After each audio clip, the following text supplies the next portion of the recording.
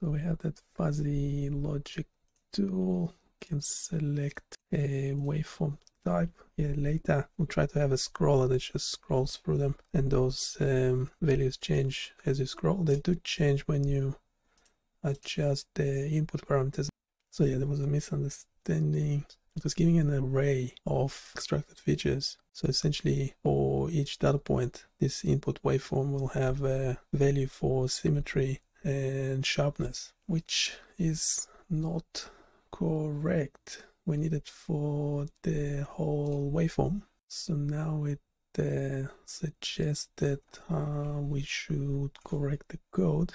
So GPT-4 has a lot of the context. You can load all the code into it and it doesn't forget it. Keeps uh, um, Copilot seems to forget what just happened couple seconds ago. So what we tried here is when the original GPT generated the code, we also asked to generate prompts for the changes in the last response. Let's start a new GPT because yeah, that was it was going places there. It was wrong.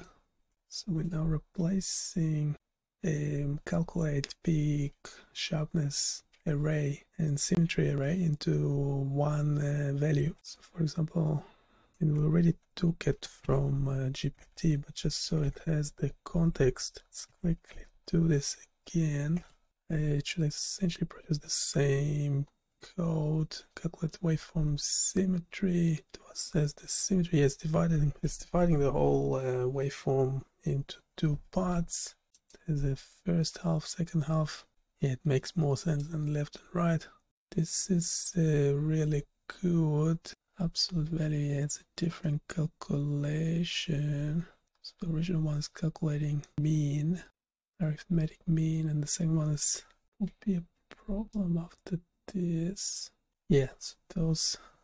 Yeah, how about we should we just calculate symmetry? Should not be an array.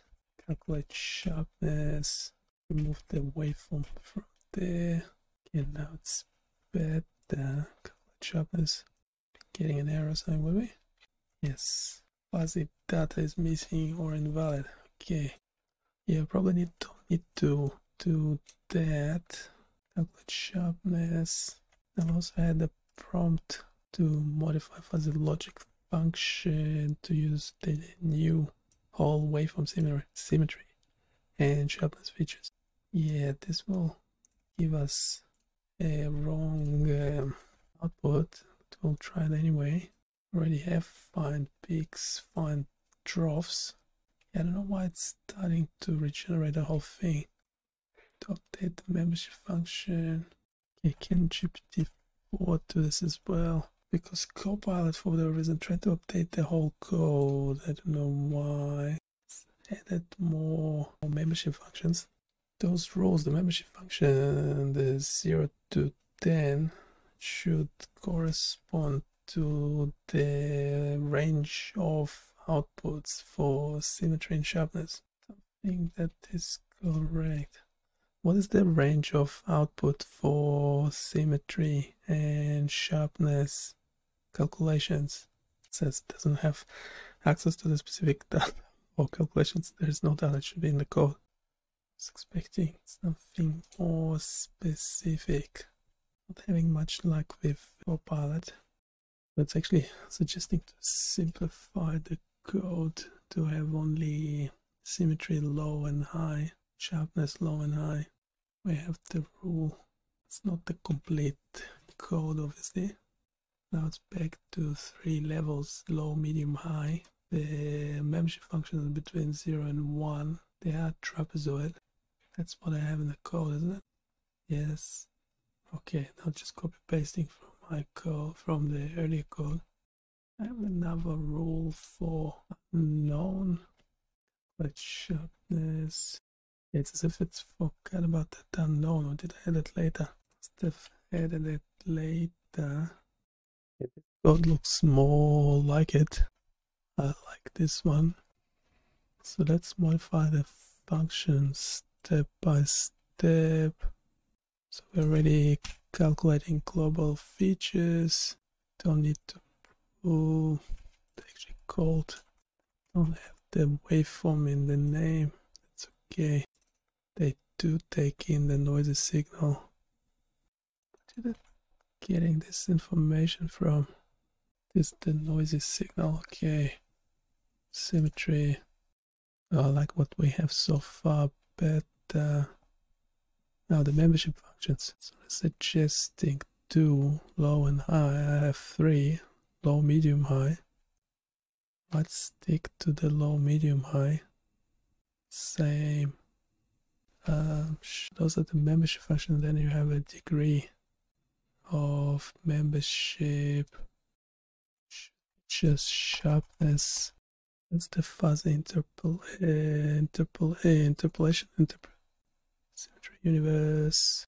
Okay, that looks legit. Then we have the fuzzy rules. So we have suggesting to have type A.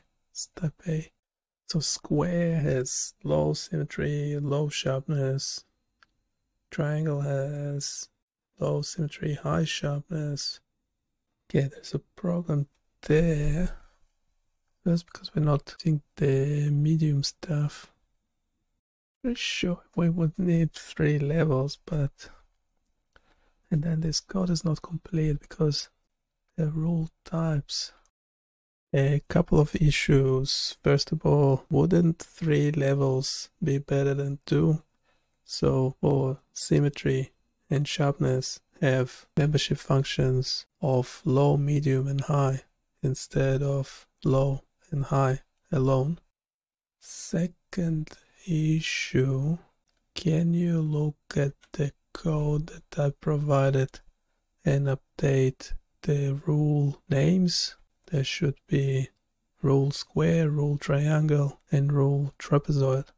The third problem is we need to include an option where the algorithm doesn't know what the waveform is and producing a unknown as an answer.